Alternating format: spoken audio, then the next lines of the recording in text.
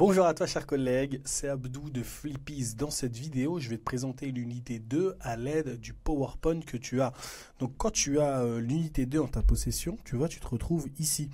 Donc là, on va faire un bonus pour l'unité 1. En fait, tu as tout ce qui est poster à afficher dans ta classe, un bilan oral, comment les utiliser, etc. etc. Mais nous, ce qui nous intéresse, c'est l'unité 2. Donc là, en fait, on y est, unité 2. Là, tu as tout le matériel à télécharger. Pour télécharger le matériel, c'est simple. Tu cliques dessus et ensuite tu recliques dessus et puis c'est bon. Tu vois? Tu l'enregistres où tu veux. Maintenant, là, on est sur le PowerPoint de l'unité 2 c'est unité 2, la ville. La première chose que tu devras faire avec tes élèves, c'est leur présenter ce tableau-là au début du cours et aussi à la fin du cours. Tu vas leur dire, regardez les compétences qu'on verra dans cette unité, ça va être donner son itinéraire, suivre un itinéraire, demander un itinéraire, recommander des visites, décrire sa ville et prendre les transports en commun. Ça, c'est les objectifs de compréhension et de production. Ils vont savoir dire ça et aussi comprendre tout ça. Maintenant, on a la grammaire et le vocabulaire. Ils verront les articles indéfinis, contractés, les prépositions de lieu dans l'espace. En fait, c'est pas avant les villes ou les pays, c'est dans l'espace. Les verbes en ER au présent et les prépositions de lieu avant les moyens de transport. Parce que selon le moyen de transport, on met un mot euh, différent avant. Et ensuite, on verra le vocabulaire de la ville et le vocabulaire du transport. Est-ce que les objectifs sont clairs pour vous? Là, ils te disent oui, ils te disent non, mais en fait, ça, tu leur présentes en dans leur langue maternelle si tu veux. Tu n'es pas obligé de présenter tout ça en, français. ok? À la fin du cours, par contre, tu es obligé de présenter tout ça en français et ils te disent oui ou non, si c'est acquis ou si ce n'est pas acquis. Donc, dans, bah, dans cette vidéo, hein, je te le dis, je vais te présenter plus ou moins la structure du cours. Je ne vais pas t'expliquer quels sont les jeux. Pour voir quels sont les jeux, tu vois là, tu as euh, des vidéos qui t'expliquent tout. Tu as des jeux aussi à télécharger, échauffement avec du jeu, fiches à distribuer, etc., support du jeu et tout. Donc là, en fait, aujourd'hui, je ne vais, pas faire, euh, je vais pas faire tout ça, je vais juste te présenter l'intérieur de la, de la ressource. Donc là, on va en ville, c'est la première activité. Ça s'intitule On va en ville. Tes apprenants vont voir plus ou moins une brochure comme ça, tu vois, et ils vont devoir répondre oralement à toutes ces questions. Tu vois, je te laisse mettre pause si tu veux, mais c'est tout simplement euh, ça qu'ils devront faire. Ils peuvent le faire tout seuls, etc. Ou en groupe, ça dépend, ou en sous-groupe, c'est toi qui choisis. Et après, ils auront le verbe aller qui est hyper important dans la langue française. Hein. c'est l'un des sept verbes les plus utilisés euh, en français. C'est je vais, tu vas, etc., euh, etc. Donc tu leur demandes de prononcer ça. Tu insistes bien sur nous allons, vous allez. Et après, ce sera bon, quoi ils sauront bien le prononcer. C'est important de leur donner de, bonnes bases. Une fois que c'est terminé, ils auront une compréhension orale. Compréhension orale, tu as les questions qui sont là, qui parlent, etc., etc.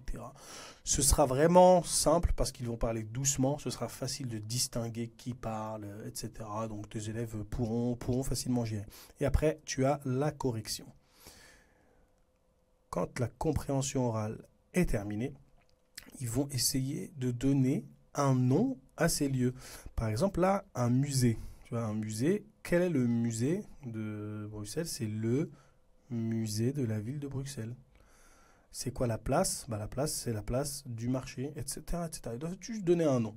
Production orale, que voulez-vous visiter à Bruxelles? Que visitent les touristes dans votre ville? Ok?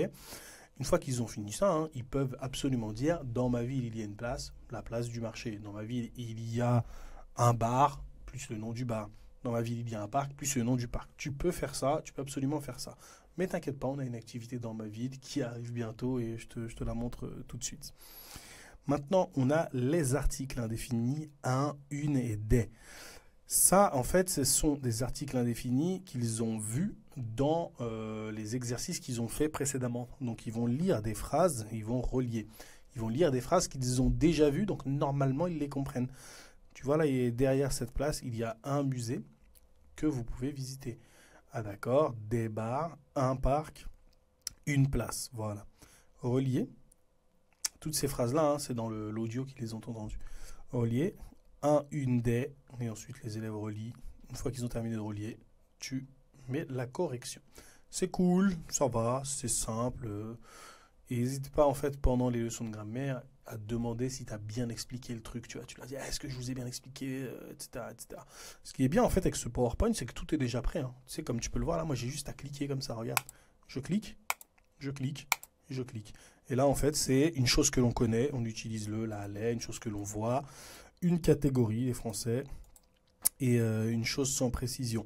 Dans la leçon précédente de l'unité 1, j'ai bien dit que pour exprimer un goût, on utilise un article défini. Mais je n'ai pas dit article défini parce qu'on ne les avait pas vus, mais pour exprimer ces goûts, cette règle-là, en fait, existe, mais je ne l'ai pas mise ici. Donc, n'hésite euh, pas à la rappeler à tes élèves.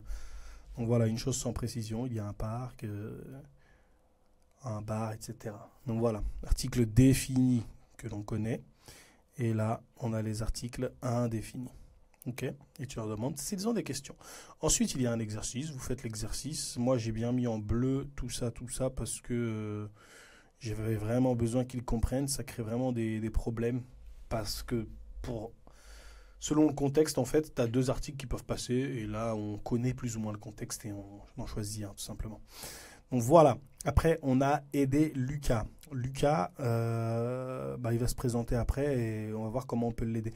Quelles sont les bonnes adresses de votre ville pour, etc., etc. Pourquoi là, on a dit, regardez ici, pourquoi ici on dit bonnes adresses? Parce que, on dit bonnes adresses parce que le, on va le dire en fait dans le texte. Et avant qu'ils lisent le texte, ce serait bien qu'ils connaissent l'expression bonne, bonne adresse en fait.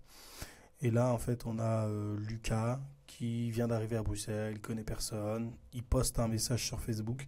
Et là, tu as tous les gens qui lui répondent sur Facebook. Et l'idée, c'est de comprendre les commentaires et les réponses et de corriger tout simplement. Donc voilà, c'est ça l'objectif, c'est de comprendre des recommandations que l'on fait et comprendre des demandes que l'on fait.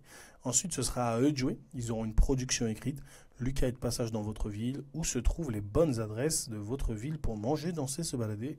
Aidez-le comme Josette et Mohamed. Donc Josette et Mohamed ont utilisé un certain vocabulaire, des certaines tournures de phrases pour recommander des lieux.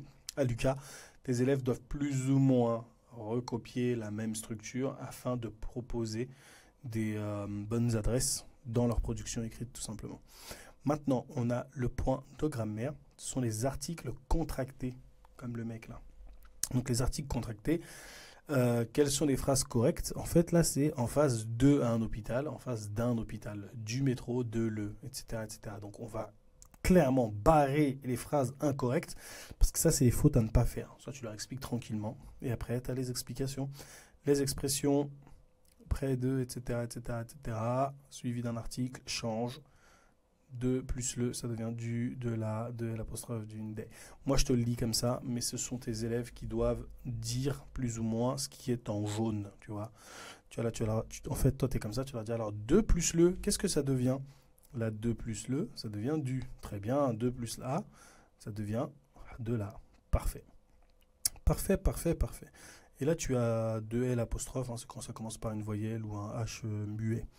Alors, exercice, contracter les verbes et ajouter, enfin contracter les articles et ajouter le verbe. Donc là, la boulangerie est en face de McDonald's. La boulangerie est en face du McDonald's. Voilà la correction. Pour les articles contractés, c'est clair. Bon, après, il y a des, petits jeux hein, juste après chaque point de grammaire, mais c'est pas pas le but non plus de cette vidéo de te le présenter. Là, je voulais juste te présenter à quoi ça ressemblait à l'intérieur. Tu cliques, ça avance, tout est déjà prêt. Le, PDF aussi, tu as juste, à le télécharger, tes élèves l'impriment et c'est magnifique. Donc voilà, euh, à côté de là, en fait, tu as toutes les expressions euh, de préposition de lieu dans l'espace. Et après, tu demandes à tes élèves où est le bar. Par exemple, là, le 1. Tu vois, tu as le numéro 1 ici, ça correspond à ce numéro 1 là. Le bar est à côté du parc. OK? Et là, en fait, ils font ça tranquillement. Soit ils le font entre eux. En fait, ils ont une feuille sur leur PDF, ils le remplissent. Ou soit tu le fais à l'oral, comme ça, chacun son tour, et ils disent euh, où est le bar à chaque fois, où est le métro, euh, où est le métro, tout simplement. Petite euh, précision. c'est laquelle? C'est la numéro 8. Numéro 8, c'est la place. Hein. Tu leur dis bien que ça, c'est une place. C'est pas très simple à comprendre, mais c'est une place. Voilà. Production écrite, notez trois endroits de votre ville et essayez de donner trois éléments pour les situer. Si tu as des élèves qui sont de la même ville, c'est magnifique. parce qu'ils vont pouvoir euh, savoir de quel endroit un tel ou un tel parle, mais s'ils ne sont pas de la même ville, c'est un peu plus compliqué. Un peu plus compliqué. Mais c'est une production écrite. Ça, c'est euh, toi, tu sauras peut-être les situer, mais sinon, non. Bref, le cinéma est loin de l'école, le euh, cinéma, etc. etc. Euh, mes lieux préférés de la ville. Là, on va parler de nos préférences. Tu commences tranquillement. Quels sont les lieux que vous aimez dans votre ville? Dans ma ville, j'aime la place euh, Danton, par exemple. Quels sont les lieux que vous détestez et quels sont les lieux qu'il manque? En fait, ces expressions de aimer, détester, il manque, elles sont hyper importantes et c'est important qu'ils les utilisent là, maintenant avec toi. Si tu peux faire participer le maximum d'élèves avec le maximum d'expressions, fais-le. Ça va te faciliter le travail en amont parce qu'il y a une activité qui arrive il faut absolument qu'ils maîtrisent ces expressions-là. Donc là, on a une compréhension orale, ils ont une première écoute, ils doivent remplir un tableau avec l'école, l'église, la banque, etc. Aime ou adore, n'aime pas ou déteste. C'est important de connaître ces expressions. Donc là, il y a quelqu'un qui va dire Je m'appelle Saïd, j'aime euh, la bibliothèque. Donc voilà, tu corriges tranquillement. Ça, c'est ce que les gens aiment, c'est ce qu'ils n'aiment pas et où ils détestent. Une fois qu'ils ont terminé ça, tes élèves auront une deuxième écoute et ils devront faire des phrases comme dans l'exemple. Donc voici les raisons. Ça, c'est des gens, par exemple, Saïd aime la bibliothèque et le musée car il aime la culture. Et en fait, là, dans l'audio, ils vont dire ce qu'ils aiment et ce qu'ils n'aiment pas en essayant de justifier leur choix. Tu vois Par exemple, là, dans l'audio, il y a quelqu'un qui va dire Je n'aime pas le centre-ville parce qu'il y a trop de voitures. Vu comme ça, ça a l'air difficile, mais comme j'ai mis les réponses au-dessus, là, comme ça, bah, ça va être simple à faire. euh, Ça va être plus ou moins être simple à faire parce qu'ils ont déjà un visuel sur ce que les gens aiment et ce que les gens détestent. Donc c'est plus ou moins cool. Et ces structures-là aussi, j'insiste, c'est important qu'ils les connaissent et qu'ils sachent les réutiliser. Quand tu fais la correction de cet exercice-là, tu leur demandes de bien prononcer et de bien s'expliquer. Donc voilà. Là maintenant, on a la production écrite. Donnez cinq lieux que vous aimez dans votre ville et pourquoi. Euh, là, c'est clairement la structure qu'ils ont vue avant. Dans ma ville, j'aime la bibliothèque parce que j'aime la culture ou car j'aime la culture. Ils ont vu parce que, ils ont vu car, ils ont vu j'aime, je déteste, j'adore. Donc euh, normalement, ils sont totalement capables de faire ça. Il n'y en a que 5 lieux, c'est facile. Si tu as envie, s'ils ont envie, ils peuvent, ils peuvent en faire 10, 20. Tu verras, c'est super simple à corriger et normalement, il y a très peu de fautes. Maintenant, on a dans ma ville, et je vais m'arrêter ici. hein. Je ne vais pas tout te présenter, bien sûr, je vais, m'arrêter ici. Donc là, tu as dans ma ville. C'est euh, une activité plus ou moins ludique. Dans ma ville, vous devez parler de votre ville en suivant l'exemple. Dans ma ville, il y a une piscine. Voilà. Les élèves, en fait, soit tu projettes ça si tu n'as pas de quoi imprimer, ou si tu as, un cours en ligne, tu projettes ça. Et puis sinon, tes élèves ont ça sur leur, euh, sur leur PDF. Donc voilà. L'idée, en fait, c'est qu'ils discutent de leur ville avec d'autres élèves et on verra s'ils sont d'accord ou pas. S'ils sont dans la même ville, c'est très intéressant. S'ils sont pas dans la même ville, ça peut quand même être intéressant de comparer euh, les villes des unes des autres. Par exemple, moi je vais dire dans ma ville, il n'y a pas de bibliothèque. Dans ma ville, je déteste la pollution. Dans ma ville, j'aime la piscine. Dans ma ville, il manque des monuments.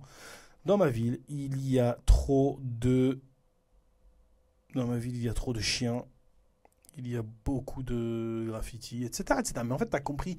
Là, en fait, c'est leur donner une structure pour qu'ils s'expriment au moins pendant 10, 15, 20 minutes en français, 100% en français. Une fois qu'ils ont passé 10 minutes à discuter avec ça en français, tu vas retirer ça et là, ils vont se débrouiller sans ça. Sans rien du tout. Ils vont se débrouiller, ils vont être comme ça, ils vont discuter, blablabla. Bla, bla, bla, bla. Donc voilà pour l'unité 2. Si tu peux, tu peux la commander. Elle est dans la description de cette vidéo. Je t'invite fortement à la commander. Elle est vraiment, vraiment top. Et puis, euh, tu as plein de jeux dont je n'ai pas parlé qui vont dynamiser tes cours à fond. Et puis, euh, et puis voilà quoi. Tu verras, après chaque point de grammaire, tu as des jeux. Tu as des jeux à imprimer. Tu as des jeux pour se diriger dans la ville et tout. C'est vraiment cool. Donc voilà pour cette petite partie de la présentation de l'unité 2. J'espère qu'elle te plaît. Si elle te plaît, c'est cool. Et euh, je te laisse euh, passer à l'action et la commander directement dans la description. Allez, c'était Abdou. On se dit à très bientôt. Ciao